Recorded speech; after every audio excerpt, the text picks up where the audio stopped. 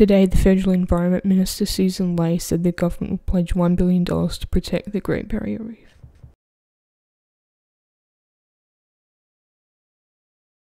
The Great Barrier Reef is located on the coast of Queensland and in the past few decades has been deteriorating with mass coral bleachings.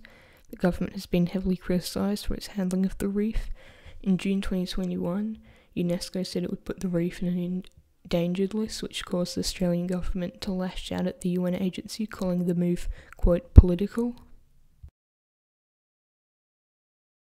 The money will be managed by the Federal Department of Environment and the Great Barrier Reef Marine Park Authority. More than half of it will go to increasing the water quality through remediating erosion and improving land condition.